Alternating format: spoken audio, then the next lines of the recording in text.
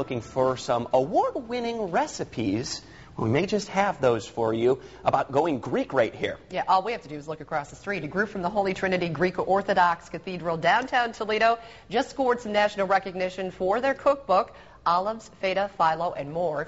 These literally are the golden cookbooks. Yeah, we are joined by. Kathy Lawrence to give us a little taste of what's going on. Hi, Kathy. Good morning. Thank you for having me. Congratulations. I'll tell you, you guys deserve it. This food is out of this world.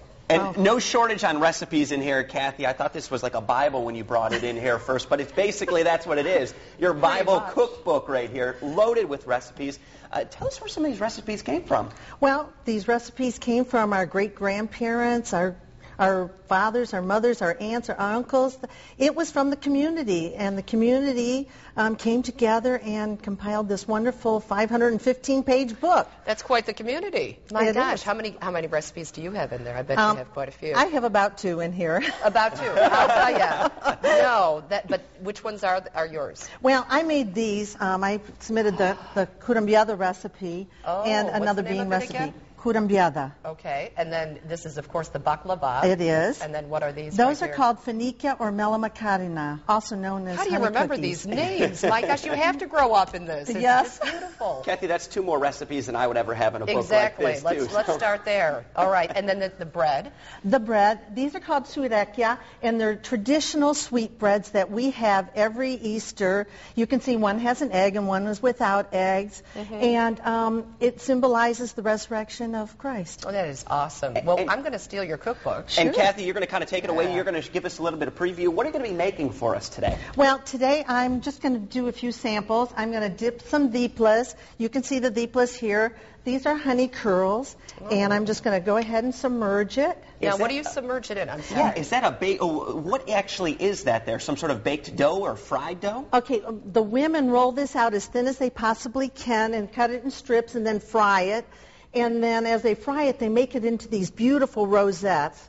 And basically, this syrup is um, made with honey and sugar, and um, there's some cloves. Honey and sugar? honey and sugar. That is outstanding. and water. Oh my gosh, right up our alley. I'm Right up ya. our alley, yep. Look at that. So then you put it in there, and these are, you know, everything that you make is just such a hit at your festival every year. Well, our cookbook has, of course, all the festival recipes in there that we want to share with everyone. Um, the secrets of the kitchen. The here. secrets of the kitchen are there. Um, and of course, you can purchase this cookbook Mm-hmm. by calling Holy Trinity Greek Orthodox Cathedral, and the phone number is 419 241 9189. She is the best commercial for this, isn't she? What we'll do, put we'll put that number on our website, Kathy. Yeah, too, so- absolutely. We'll get that up for you. So you've got that. You dip it in honey. I dipped it in honey, and I'm going to sprinkle some sugar on it, Mm-hmm. or uh, sugar, nuts, and um, other seasonings here. Now, so what that kind you of can what see. kind of nuts are those ground Oh, nuts? always walnuts. Oh, oh, sorry. Always walnuts.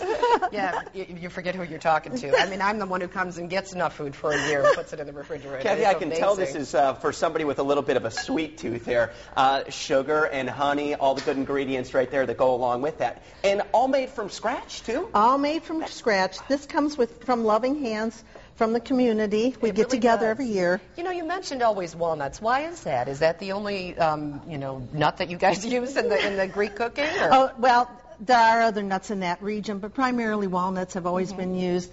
The other Mediterranean countries, you know, use pistachios and almonds, but we do use a lot of almonds too. Very region. Now, what about the doughs and everything? You talked about the dough that you fry. I mean, is there a standard dough that you use for a lot of the different baked goods? Well, no, they're all each a little bit different. Um, Oh, my gosh. The, the, this dipla here, of course, has to be rolled out really, really thin, almost like a phyllo dough. I was going to say it's got to be. It's that's an art form to make phyllo dough from scratch. Scratch. It is an art form, and there are very uh, well. There's one woman in particular in our church that does a great job making it for us, Mary Markham. So we Oh are very gosh. appreciative in that your, she does In your this. opinion, what is what is the secret here? Because a lot of us, Well, well, you let know, us in just- on we the were just wondering, you know.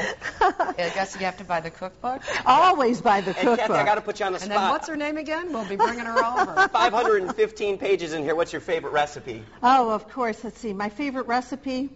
I'm going to have to say I love the kudalaika. Oh, that was very gracious of you. What's the name of yours again? Mine are called kudambiadas. I do like them a lot, but these are good dunking cookies, and you can dunk them in your coffee, and oh, it's Oh, lots of fun. Outstanding. All right. Lauren, how's how your sweet tooth feeling now? Yeah, oh, Great. this is pretty good. Every time she added sugar, then honey, then more sugar, and then yeah.